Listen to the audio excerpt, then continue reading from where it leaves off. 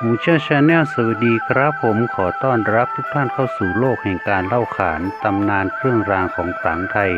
รวมไปถึงเรื่องราวแปลกประหลาดมหัศจรรย์ลึกลับพันลึกต่างๆ และสำหรับในคลิปนี้ทางช่องของเราจะนำเสนอเรื่องราวเกี่ยวกับอะไรนั้นก็ขอเชิญทุกท่านติดตามรับชมและรับฟังกันได้เลยครับผม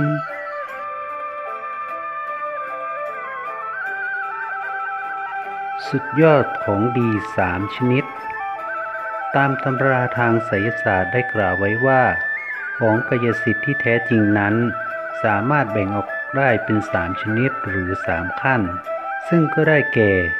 1. ของทุนสิทธิ์ หมายถึงของดีตามธรรมชาติ ที่มีอนุภาพทางด้านอยู่ยงคงกระพันไม่มีวันเสื่อม เช่น เหล็กน้ำพี ทองแดงเถื่อน ตะกัวป่าเป็นต้น 2. ของกายสิทธิ์ เป็นของวิเศษชั้นเลิศ มีฤทธิ์เหนือกว่าของทนสิทธิ์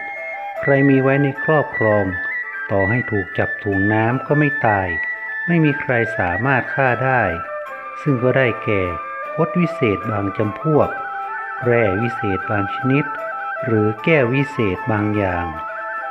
3. อโลมาประสิทธิ์ ของดีประเภทนี้หาได้ยากยิ่ง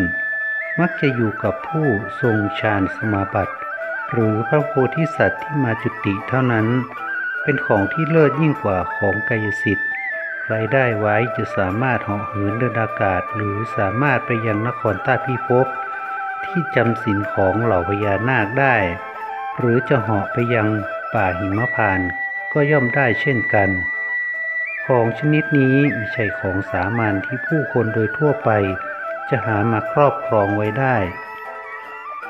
ของดีทั้งสามชนิดนี้เป็นของที่เกิดขึ้นด้วยอำนาจบุญบารมี ซึ่งจะอำนวยประโยชน์สุขแก่ผู้ที่ได้ครอบครอง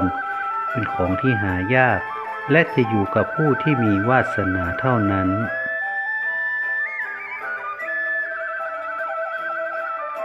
ก็จบลงไปแล้วนะครับสำหรับเรื่องราวสาระบันเทิงที่ทางช่องตั้งใจนำมาเสนอในคลิปนี้ ถ้าท่านชื่นชอบคลิปนี้หรือคลิปอื่น ๆ ของทางช่องมงเจ้าชาแนลก็ฝากกดไลค์ กดแชร์ กด Subscribe เข้ามากันเยอะๆนะครับ แล้วค่อยกลับมาพบกันใหม่ในคราวหน้าสำหรับวันนี้ขอขอบคุณทุกการติดตามรับชม